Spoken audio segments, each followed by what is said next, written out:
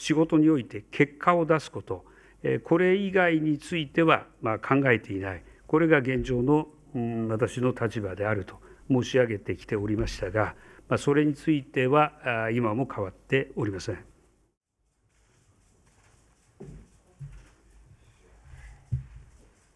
振り返るとともに、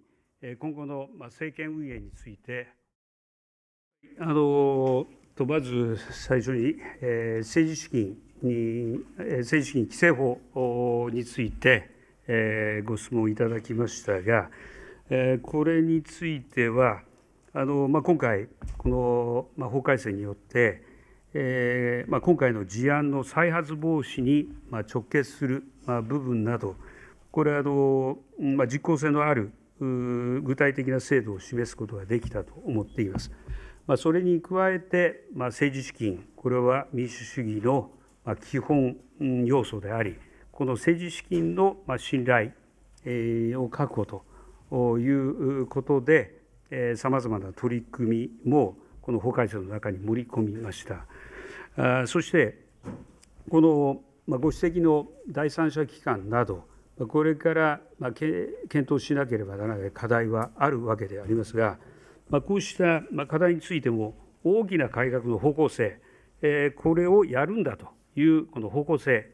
については、あの明文できたと考えています。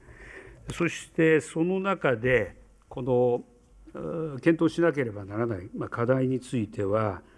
まあ、国会でもうんと答弁の中でお約束をさせていただきましたが、まあ、政策活動費の使用状況の公開については、この改正、えー、政治資金規正法の施行日、施行期日であります、令和8年1月1日に間に合うように、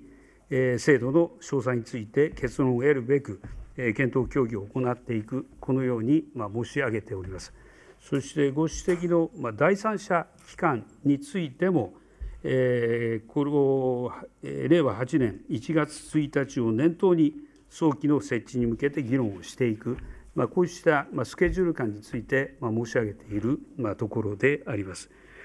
今、この先送りできない課題、うん先ほど来申し上げている政治の信頼回復ですとか、あるいは能登半島地震に対する、えー、震災対応、復旧・復興の取り組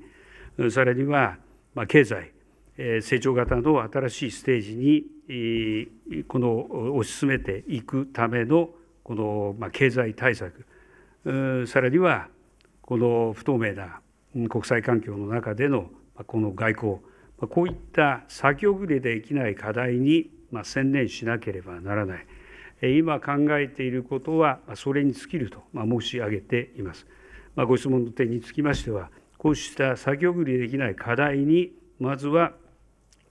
取り組み、そしてそうした仕事において結果を出すこと、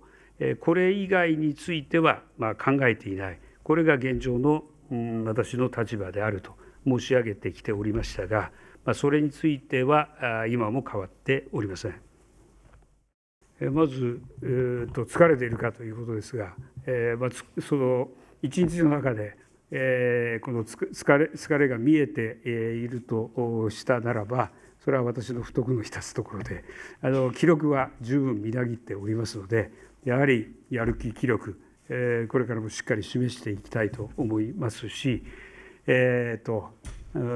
この決して疲れているなどということは申し上げるつもりは全くありません。えー、そしてそれからあと、まあ、これまでの3年、えーと、2年半余りですが、評価して、ま、どうかと、ま、いうことでありますが、あのこれについては、これ、評価、ま、これ今、今の時点で終わるとしたならば、評価ということもあるんでありましょうが、先ほど言いましたように、今、道半ばであり、そして重要な課題が山積している、先送りできない課題がたくさんある、ま、こういったことでありますので、まあ、ぜひ、え、この結果につなげることによって評価が生まれると信じておりますので引き続きこうした道半ばの課題について一つでも二つでも